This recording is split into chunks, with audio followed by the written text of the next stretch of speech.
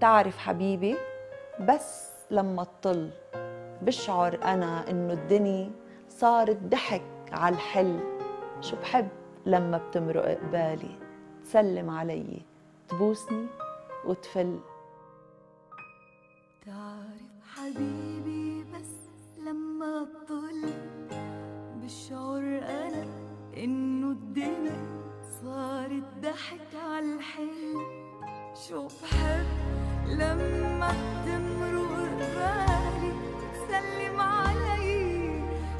بالي وتفل.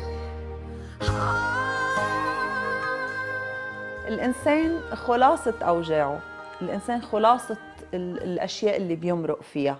الكتابة هي شكل من أشكال التطهر من الوجع. يمكن الشاعر بحاجة لشيء آه، من هالنوع لحتى يكتبه. بقول لك شيء آه، بوقت من الأوقات أنا بفتعل مشكل مثلا مع مع زوجي لأن بدي أكتب. فبعز الفرح الفرح بيغريكي تعيشيه. الإشياء الحلوة بتغريكي إنك تصيري تعصريها على آخر حبة بالحياة. بصير بدك شيء يبكيكي أو يوجعك شوي ل- لتطهري منه على على الورق على على بياض ال- الورق. أنا كتبت عمري سبع سنين وكتبت إذا بدي كمان على على حافه وجع كتير كبير. يعني ثمن ولادة القصيدة كان وفاة والدي. يعني بقول لهم لحتى يولد شيء هالقد جميل لازم يكون الخسارة هالقد كبيرة. أكيد كنت بتمنى أنه يضل والدي وحتى لو ما كنت شاعرة. أمي وقفت كتير حدي. الدور المساند الدور اللي لعبته بأنها تنمي هاي الموهبة. ياما أطفال نحن بنشوفهم عندهم آه، مواهب آه، يعني ما بنتوقعها بس الأهل يا بيهتموا إنه هالموهبة تكبر وتشق طريقها يا أما هن بيقتلوها.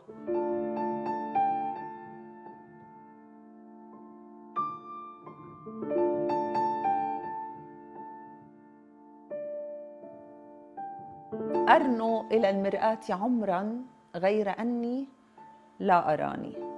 ما عدت ألمح صورتي لكأنما ظل احتواني يعني آه، المرايا هي هي إنك تبحثي عن الشخص اللي بدك تكونيه. الشخص اللي الواقع هيدا هيدا مش مسؤولة أنت عنه.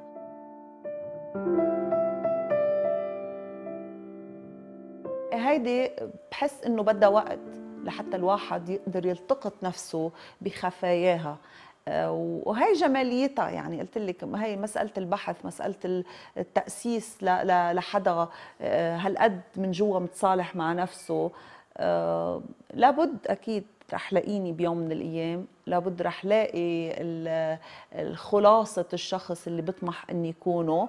آه، بس بالنسبة إلي آه، يعني متفائلة أني فعلا أنه هذا التأسيس اللي عم بعمله ال- الشعر اللي عم بكتبه ال- التواصل مع الآخرين أنه كله هيدا بطريق يعني آه، البحث أو التفتيش يعني إنه كله هودي بيساعدوني إنه أنا ألاقي الشخص اللي بدي إياه بالمراية.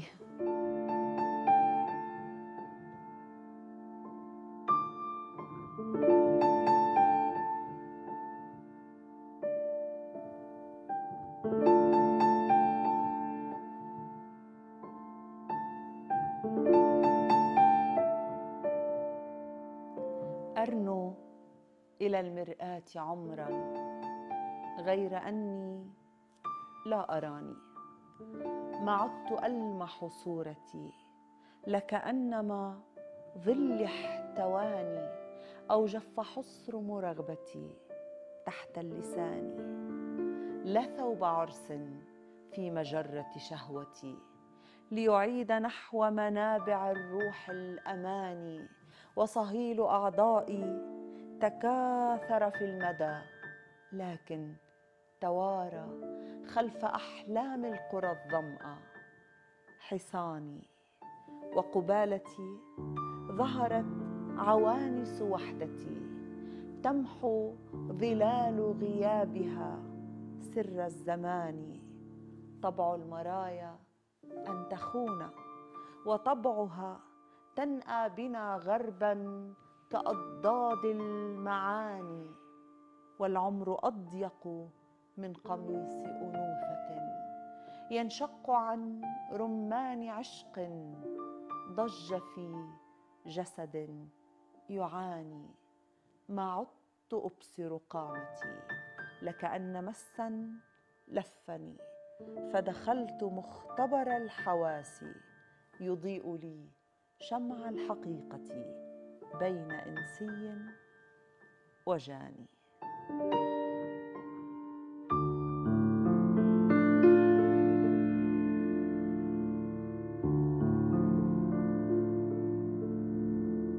أنا بقول القصيدة آه، بتجي هي لحالها. يعني مش أنا باخذ قرار إني انتظر. بس الشعر شو اللي بيتطلبوا منك؟ بيتطلب إنه وقت اللي تجي القصيدة وتدق بابك آه لازم تكوني حاضرتي لها. أنا حدا خاين بهالمطرح. الشعر بخونك إذا ما كنتي وفية له فهون أنا عم كون فعلا عم بخونه بمطارح لأنه ما عم بستقبله بالحفاوة اللي لازم إنه يستقبل فيها.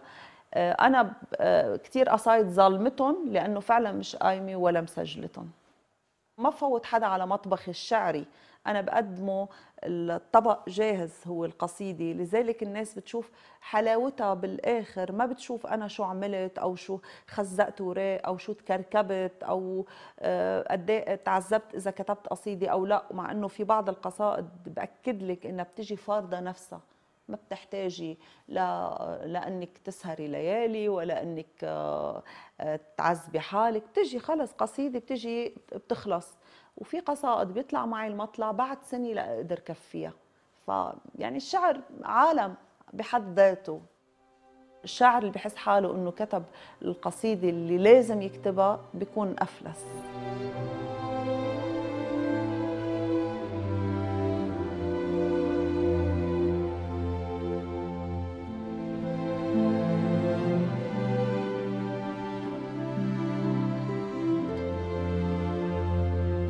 أنا امرأة لغير زمانكم خلقت منمقة كطوق من رياحين على كفي قامت ثورة الأنثى وفي رأسي ملايين الدواوين.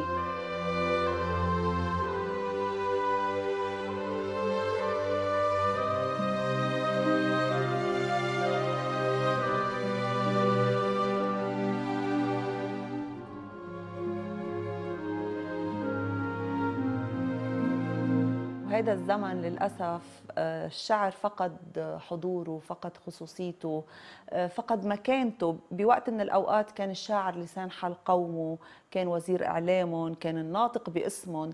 اليوم الناس عم تنتصر لأشياء آه، أخرى على حساب الشعر. يعني بتحسي انفضت الناس عن القراءة. جيل بأكمله في هو بينه وبين القراءة وبين متابعة الشعر. بحس يمكن شوي لورا كان بعد حضور الشعر هيك طاغي لما كان آه، يقدر الشاعر يكون هو هو الشخص المؤثر بمحيطه. آه، يا ريت مع إنه بقول دائما إنه أنا متفائلة بهذا المجال إنه لا يصح إلا الصحيح. نحن أمي لا تؤمن إلا بما هو موثق ومكتوب. يعني القراءة رح ترجع تستعيد مكانتها الورق رح يرجع يستعيد مكانته. مع أني مش ضد العولمة يعني اليوم بتفوتي صار كل شيء متاح لإلك. بكبسة زر بتشوفي الشاعر اللي بدك إياه القصائد اللي بدك إياها بس ما حدا عم يتوجه بهذا الاتجاه. يعني كله بيروح للاستسهال. آه، وحتى القراءة الجرائدية بطلت موجودة. يعني حتى الجريدة شوفي اليوم الجرائد فلست وتسكرت. نتيجة انفضاض الناس عن القراءة.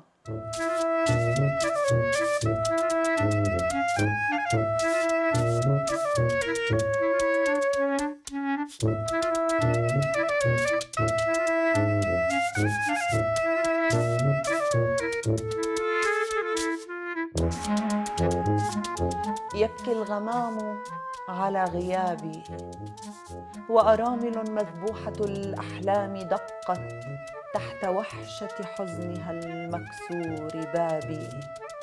ومن السواد تطل مريم أمنياتي تمخر الأحزان بحثا عن فضاءات الشباب.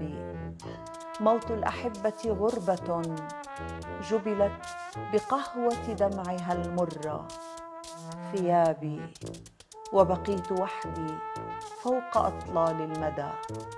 في الصبح أخرج للصلاة علي في الرمق الأخير. كالريح أقرع كل يوم باب موتي أمتطي خيل النهايات المثير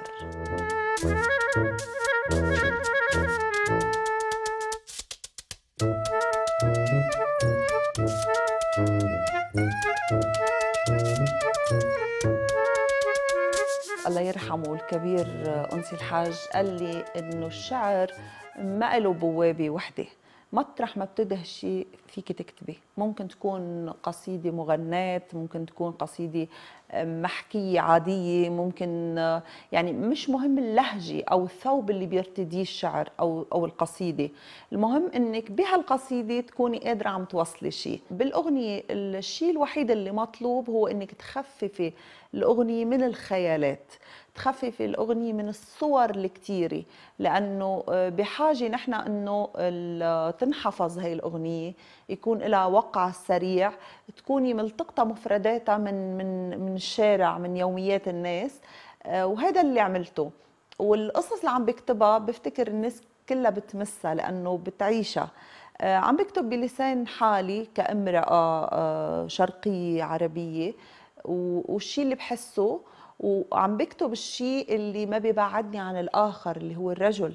يعني أنا بنصي إذا بتنتبهي في وفاء للرجل لأنه بعتبر أنه هذا الكائن الجميل اللي ما تم اكتشافه حظي أوفر كامرأة شاعرة أنه أنا أبحر بعوالمه. المرأة تم استغلالها بكثير من الفنون باللوحة بالمسرح بالأغنية بالرواية بالشعر. ما في شاعر ما كتب عن المرأة. أما الرجل بتحسي حضوره كتير قليل وخجول. من هالباب بحس إنه أنا ملعبي أوسع للكتابة وللبحث بهذا العالم اللي ما تم اكتشافه. بالشعر الأفكار ممكن تعيدي صياغتها لأنه نحن بالشعر مش مثل الكاميرا. الكاميرا خلص التلفزيون الإعلام محرقة. بتعطيه بدك تعطيه فكرة مختلفة تماما المرة الجاي وإلا يعني بتعملي برنامج واحد بهالفكرة فكرة تانية لازم تكون كتير مختلفة. بالشعر فيكي نفس الفكرة تعيدي صياغتها بشكل آخر لأنه نحن مش دور الشعر هو كاميرا فوتوغرافية ينقل الواقع ويحطه بالنص لا هو إعادة خلق هذا الواقع إعادة سكبه من جديد لأنه انت بتضوي على مشكلة بس مش شغلتك تلاقي حل. يعني هيدا بالشعر تحديدا. مش نحن مش حلول. نحن بنطرح الأفكار أفكار أفكار ففي متسع للمزيد من الأفكار.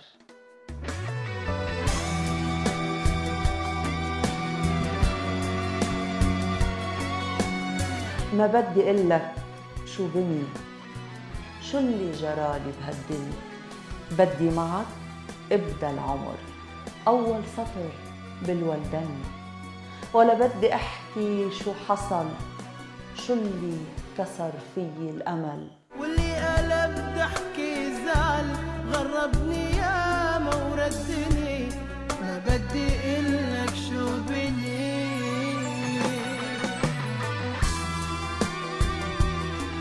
بس تكوني بتعرفي تحبي بس تكوني بتعرفي تكوني وفية لأحاسيسك ومشاعرك بتكوني هالقد حقيقية.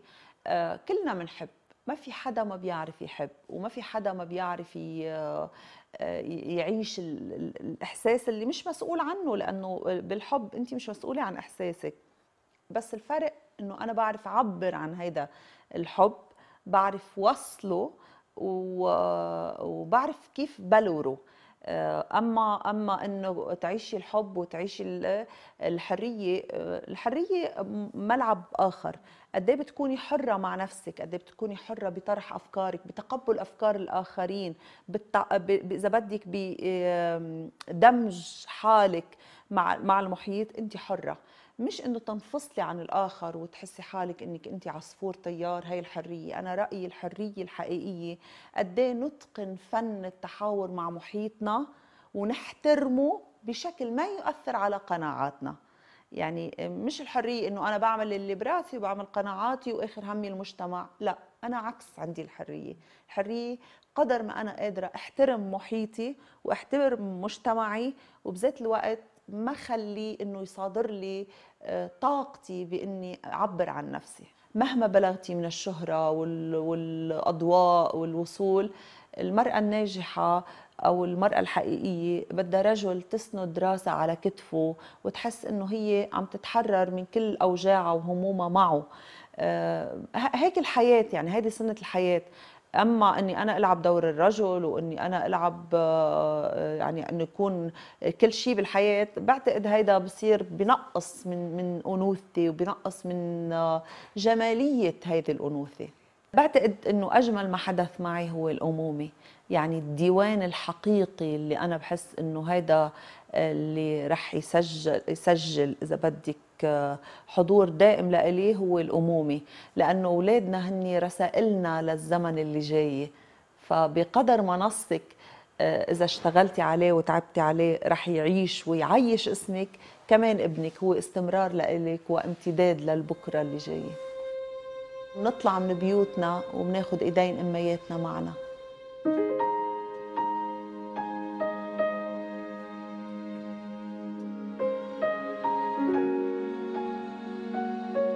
قمر لهذا الليل يسحب ألف شمس خلفنا. آت يجر الصبح كيما يحمل الدنيا إلي. صعد السطوح جميعها ليضيء قنديل الهوى ويدس في السحب التحية. قمر يراقص نجمتي. ويلف آمالي البهية. أعلو وأهبط والرياح تسوقني والموت يعلم أنني روح عصية. فهناك أمي في صلاة وداعها. لفت عناقي بانتظار لقائنا ومضيت أحلم أن لقصتنا بقية. كل الذين تفرجوا يوما علي أو صفقوا لعروض موتي في شوارع غربتي ها إنني ما زلت حيه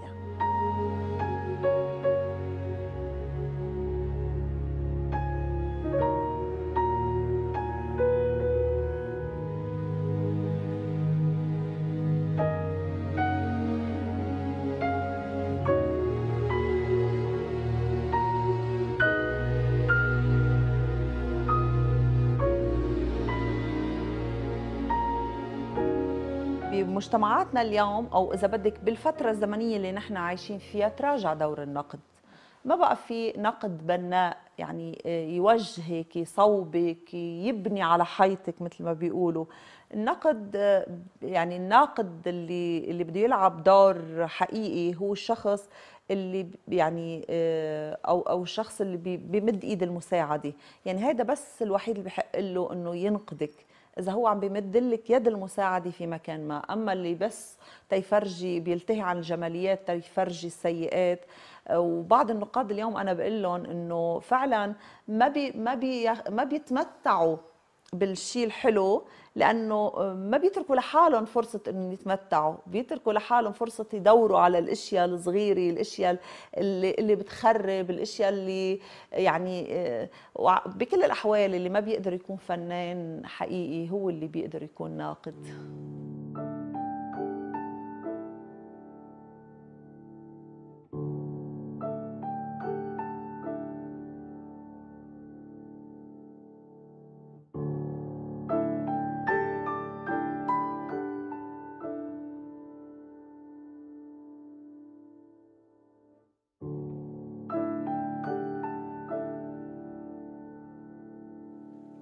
ما كنت من حملت إرث الأرض في أعلى القباب لكنني ضيعت عمري في مدى رجل ضباب ونسيت كيف أعود من زمن الغياب.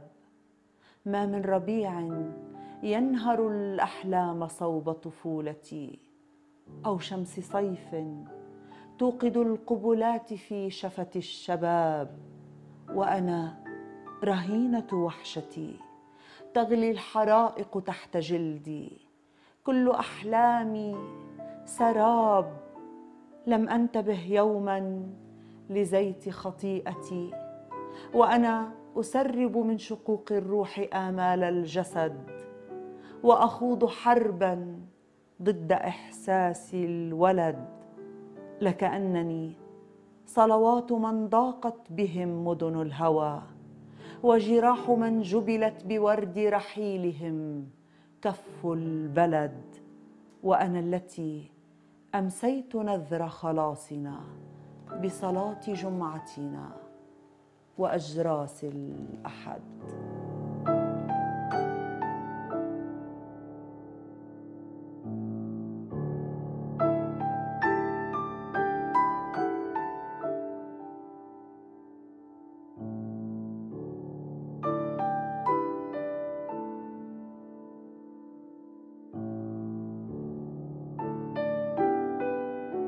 نحن خلاصة تجاربنا العاطفية نحن خلاصة الأشياء اللي بنمرق فيها. يعني أنا بالنسبة إلي إنه آه، آه، كل شيء بتعيشيه هو عم بيأسس لنص جديد للغة جديدة. أنا بقول إنه هن 28 حرف أنا بكتب فيهم وأنت بتكتبي فيهم وغيري بيكتب فيهم. بس كيف تتناولي هال 28 حرف وبترجعي تعيدي صياغتهم؟ هي هون الفكرة. وهذا الشيء بيميزك عن غيرك. المشاعر كلنا بنعيش مشاعر متضاربة. كلنا بنعيش أحاسيس آه، ممكن تهزمنا بمحل ممكن ترفعنا بمحلات كثيرة آه، بس إنه كيف كيف بنعبر عنها؟ يعني هيدا هيدا اللي بيميز عن الشيء. لذلك بقول لك الكتابة بمطارح معين توصل للحرفنة. بصير عندك أنت طاقة على إنك تعرفي كيف تفصلي النص على قياس هيدي الحالة اللي عم بتعيشيها. يعني آه، وأنا بقول مش بس العاطفي يعني أنا يمكن يكون الحب هو الحاضر الأكبر بس أنا بعبر عن عن وجعي مع الأرض بالحب عن علاقتي بأمي بالحب عن علاقتي بزوجي بالحب.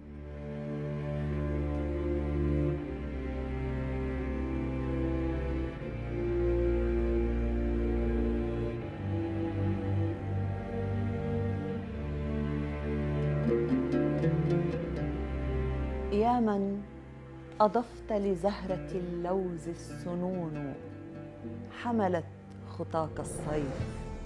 عذبا كرفة طيف مرت يداك على حرير غوايتي. يا مرحبا بالضيف. اليوم أشعلني الهوى وأنا ألملم شمل أجزائي التي احتفلت بأعراس انتظارك. لأعود لغزك كلما عصرت قيودك معصمي أو كلما منيت نفسي باخضرارك ها قد أبحت خرائطي للقادمين على جياد جنونهم ليروا عواصم لهفتي سقطت على ذل انكسارك. ما كنت أنت ولا هواك. أتظن أن العين لم تألف سواك؟ أو دون حبك يستحيل الغمط إني اختزلتك آدما لنساء هذه الأرض.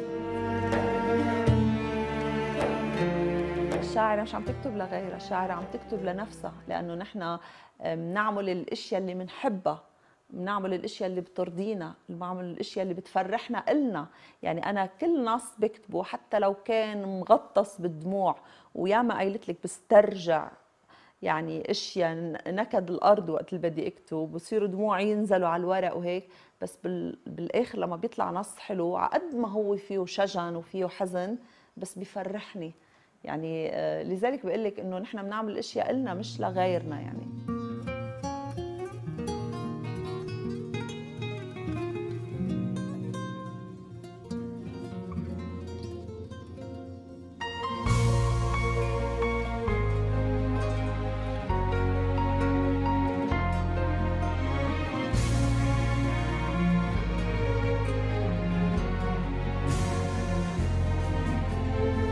الحياة إيه ما بتعطيكي كل شيء بس بالشعر بتخلقي حياتك أنت وبتاخدي اللي بدك إياه.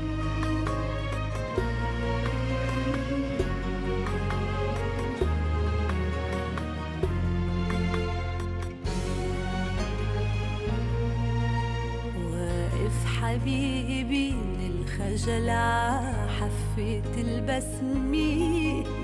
كل ما إجا يحكي غزل بيضيع الكلمة واقف حبيبي الخجل عحفة البسمة كل ما إجا يحكي غزل بيضيع الكلمة